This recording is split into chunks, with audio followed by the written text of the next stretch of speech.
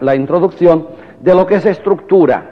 Y, escribo la palabra para que no se nos vaya luego, porque vamos a desestructurar muchas cosas. En lo humano, la estructura es indispensable. Los que todavía de ustedes que recuerden a Zubiri, aquí tengo el libro de El hombre y Dios de Zubiri, como sabéis es famoso y además prologado por el padre Yacuría de esta casa y mártir, eh, uno de sus grandes discípulos.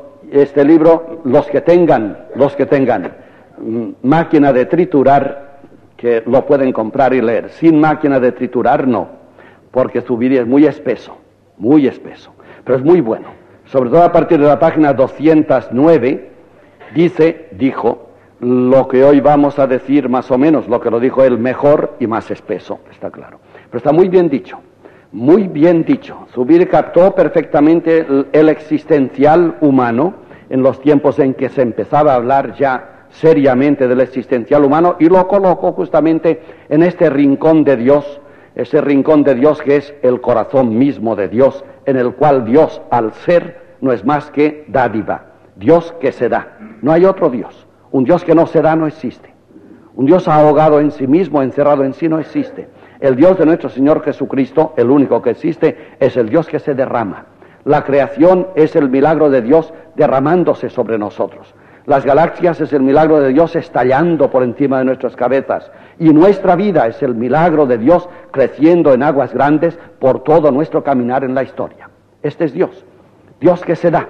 Y claro, si somos hijos de Él, como decíamos el otro día, al ser carne y sangre de Dios, está claro que somos hijos de Él. Si somos hijos de un Dios cuyo ser es darse, está claro que la misma sangre en nosotros es el ser que se da. Y por tanto solo cree en Dios aquel que se da y no cree en Dios aquel que no se da. Por mucho que sea, aunque sea el dueño del mundo, lo dijo Cristo, de que vale conquistar el mundo si al fin tu ser sufre y se resquebraja. La estructura. La estructura es indispensable. No hay nada humano que no tenga estructura. Pero la estructura que es indispensable es indispensable para enseñar a caminar. La estructura son unos andadores. Es indispensable. Un niño que no tenga andadores o quien le lleve de la mano es igual, no aprenderá a caminar. Es decir, aquel que no acepta llevar una temporada los andadores, los tendrá que llevar toda la vida porque nunca caminó bien. Y al revés, aquel que acepta llevar los andadores una temporada y se adapta a ellos y aprende en ellos a caminar, al final se le pueden abrir, romper los andadores y él camina tan tieso, que es lo que toca. Ahora, para la vida igual, piensen por ejemplo en la carrera que todos hemos estudiado, en las letras que hemos estudiado en el colegio, en los padres que hemos tenido, todos son andadores. Y al final, a una cierta edad, pues ya nos desprendimos poco a poco, de todos los andadores, de todos nunca, pero de grandes andadores, los padres, los maestros, la escuela, nos hemos desprendido y vamos caminando. Y esa es la libertad de los hijos de Dios. Qué curioso ahora entonces meditar lo siguiente. Y es verdad, hemos podido dejar al lado a nuestros padres, vivos o muertos, pero al lado ya caminamos solos. Y la escuela y la forma aquella dolorosa de tener que calcular los logaritmos de las matemáticas, que ahora lo hace la calculadora mejor, y aquel, aquel principio de estudiar francés y ver si el ditongo hoy es wa o es se, y, entonces, y al final ya va solo y sin querer ya lo hablas. Hemos aparcado. En todo menos en la religión, donde justamente los andadores son más peligrosos. Qué curioso. ¿A qué viene esto? Bueno, yo sí sé muy bien a qué viene, a una educación y a un interés, sencillamente. Los andadores en la religión son mortales, lo que pasa que son muy cómodos. Pagar una casta de maestros o de sacerdotes para que oren por ti y digan misa por ti por 500 pesetas y te digan el funeral y te casen y te den los sacramentos y encima te aconsejen si convierte casarte con María o con Pepa y encima esto es facilísimo. Esto se llama andadores totales. Tan totales que lo más corriente en la religión es que cuando te acercas a un andador que anda, el andador es tan total que dentro no hay niño. No hay niño, hay solo andador. Ahora se pone serio, ¿verdad? Ahora entramos en la gracia. Ahí viene la gracia de Dios. Pero está claro que en los andadores no hay gracia de Dios. No. Los andadores son para empezar a captar la gracia o para dar forma en nosotros a la gracia. Y he dicho al principio que son indispensables, pero proporcionalmente. Cuanto menos independiente eres tú, cuanto más niño eres, ¿eh? cuanto menos independiente, más andadores, está claro. Cuanto más torpe es el niño, más hay que resguardarlo para que no se rompa la crisma, está claro. Cuanto más torpe, más andadores. El niño crece, cuanto menos torpe es el niño y en la vida va lanzándose, más andadores se pueden quitar. Hasta que al final se quita el andador prácticamente del todo y el niño, el hombre, flota y vuela en la magnitud, en la magnificencia de Dios. Bueno, pues las religiones de la tierra todas y el cristianismo, por lo que tenemos de paganos todavía, ha mantenido esta idea.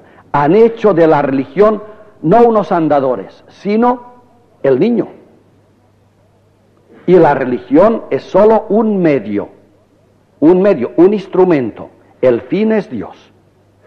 Aquel que se apunta a una religión y hace de la religión su meta, la religión logra de él que él no llegue nunca a Dios. claro. Si te quedas en la religión no llegas a Dios. Tomas el tren para Burgos y te quedas en el tren. Ya puedes llegar a Burgos, tú no, tocarás Burgos nunca. Has de bajarte del tren. Has de bajarte. La religión es igual, la religión son unos andadores que nos van ayudando a caminar bien, pero en la medida en que caminamos, la estructura religiosa es cada vez menor. Eso se llama el carisma o el espíritu, que decía San Pablo que no hay que matar jamás. No ahoguéis el espíritu. Y hay quien coge el espíritu donde lo vea como una paloma y se pasa la vida apretando las manos en torno al cuello. Y da tanto gusto ver cómo la paloma en su estertón es eso. Y eso dura pues dos mil años. Es bastante goce ya y disfrute, dos mil años de, de estrangular palomas, ¿no? Es bastante disfrute. Bueno, pues es la hora de que esto termine. Y sobre todo que lo sepamos claro. Dios no es este. Dios no es este.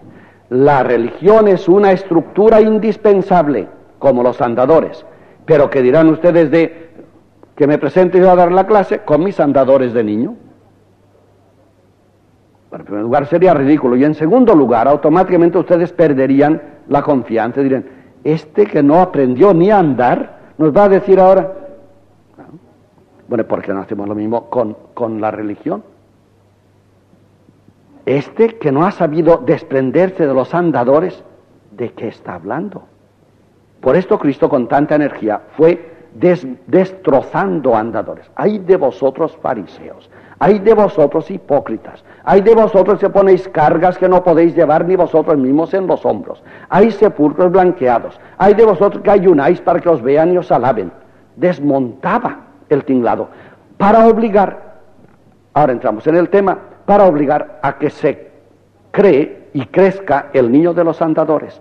Es tan cómodo el andador que la tentación está en ponerlo todo en él, aunque no haya niño ir a misa los domingos, recibir sacramentos, pagar diezmos y primicias, hacer ayunos en cuaresma y abstinencias, como era ayer, por si alguno lo olvidó. Todo esto, todo esto es andador.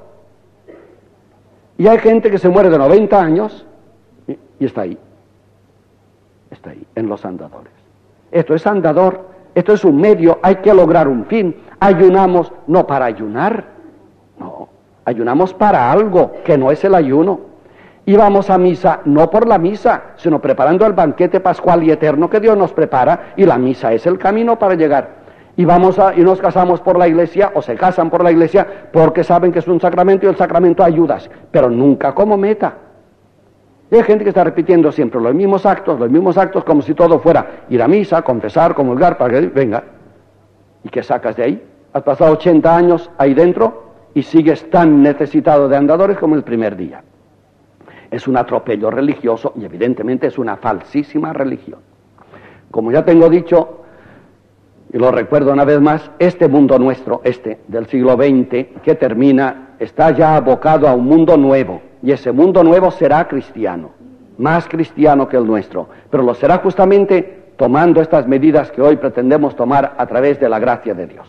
Cerremos pues esta introducción larga que es indispensable como estructura, como andamio para que levantemos la casa, que no es casa, también, también sería andamio, eh, la, la maravilla que es la gracia de Dios.